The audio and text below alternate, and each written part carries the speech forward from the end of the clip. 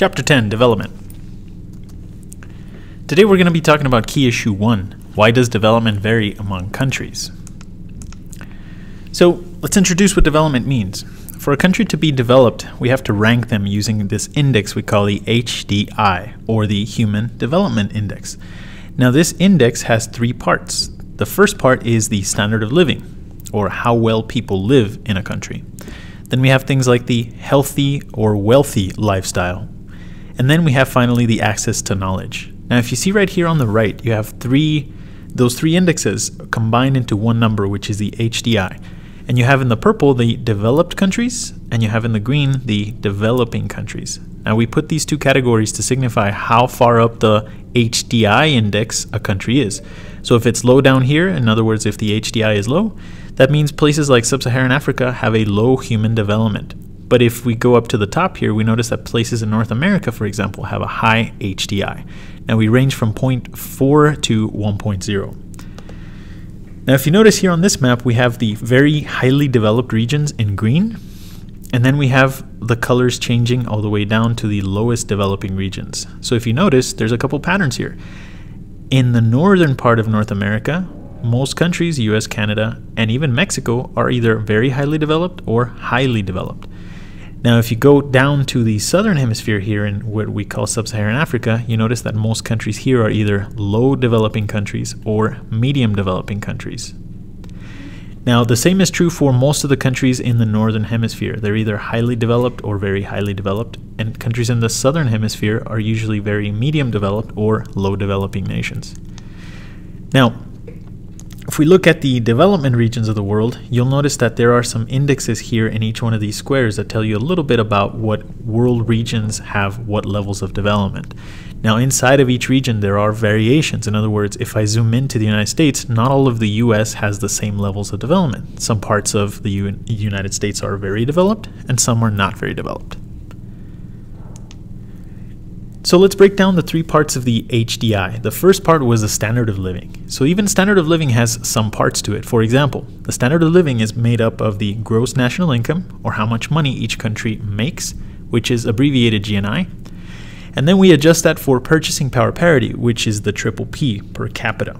Now, other measures of standard of living include how many people work in primary, secondary, and tertiary economic activities, and how productive people are, in other words, how much they produce. If you look at GNI or how much money people make on average per capita per person, along the same lines as the other map I just showed you, the northern hemisphere has the most GNI per capita. The southern hemisphere, specifically this part of Africa, has the lowest GNI per capita. But what does this mean?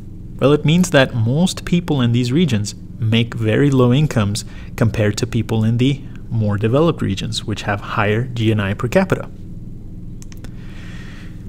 If you look at this structure here, it tells you the percentage of jobs on the left axis here and the, the time period here in the bottom axis. So if you see, the primary sector jobs have been steadily declining in the developing world over the last 20 years, and they've been also steadily increasing in parts of the developed world in tertiary activities. What does this mean? It means that primary activities such as agriculture and secondary activities such as manufacturing are actually declining across the world. But activities that involve services like employees, like salaried employees like doctors, nurses, teachers, etc., they're steadily increasing in the developing world and in the developed world. Productivity means again how much per person uh, we produce in each country. So if you look at the most developed nations of the world, they have a high productivity rate, $50 and above, for example, for the United States and Australia. But if you look at the parts of the developing world, even parts like Russia, they have low productivity measures, so below $10 per, per hour per person. This was data from 2013. The other part of the HDI is the access to knowledge or how much access to education people have. So if you look at access to knowledge, this means how many years of school adults get. How many expected years of schooling do the youth receive, the young people? And then other measures of access to knowledge include how many students per teacher are there in each classroom?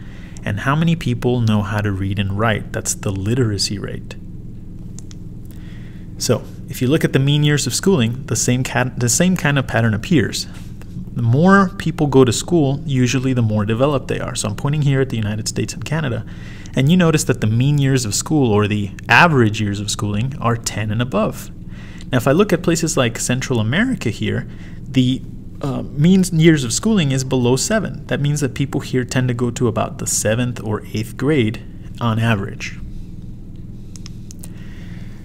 The expected years of schooling includes how much is the average number of five-year-olds are expected to be in school. So, for example, in the United States and Canada, again, it's 14 and above. 14 years of schooling on average were expected of five-year-olds and above.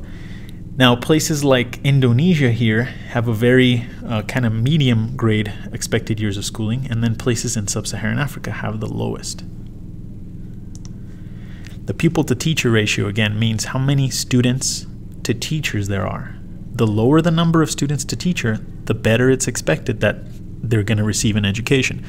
So, the better quality education. So, I have people here in the US, for example, receiving some of the largest uh, some sorry, some of the smallest pupil to teacher ratios below 15. But then places in sub-Saharan Africa and places even in South Asia that have the highest number of pupil to teacher ratios. This means that classrooms here are very large compared to classrooms in the United States and even countries in South America like here like Venezuela for example. The literacy rate again means it's the measure of how many people on average or percentage, I'm sorry, know how to read and write. So again, it's higher above the equator. Most countries in the northern hemisphere have a high literacy rate, and most countries below it have a lower literacy rate. So, for example, parts of sub Saharan Africa have below 70% literacy rates, so pretty low. So, if we look at another measure of uh, the HDI, the Human Development Index, we include health as well health and wealth. For health, we look at life expectancy at birth. This means how many years a child that's born is expected to live. We also look at other measures of wealth like the consumer goods they're able to purchase, the amount of cars or motor vehicles they have per every thousand people, and the literacy rate again. Believe it or not, this has to do with health as well, and I'll show you why. For developed nations of the world, the life expectancy and birth at birth is expected to be high. In other words, it's, a, it's expected to go up to about 80 years. But for developing nations, it's about 70 years. Now, this means that on average, not every person, on average, life expectancy ranges from about the mid 50s to the early 80s. Now, this depends on the region of the world you live in. For example, in North America and Europe, and in South Pacific, uh, South Asia, most people are expected to live close to 80 years. But if you go to the developing world, parts like sub-Saharan Africa and South Asia, you're expected to to live, I'm sorry, up to about 55, 56 years of age on average. Now, of course, motor vehicles are another measure of wealth. Now, if you have a nation with a lot of motor vehicles, that usually means that they're highly developed.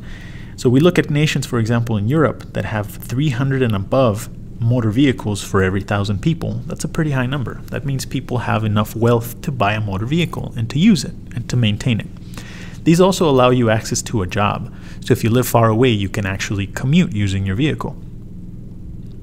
Cellular telephones are another measure of how we use consumer goods. So in a nation that has a high number of telephones per every thousand people, this usually also means a good measure of development.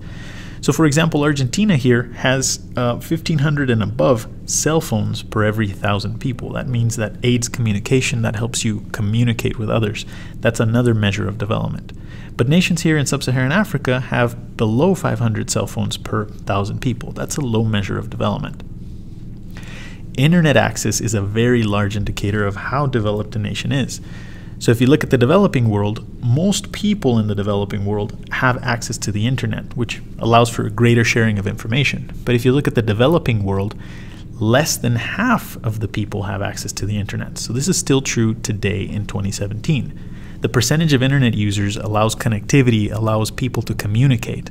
So in a country with a low index of access to internet means that you have a low level of development.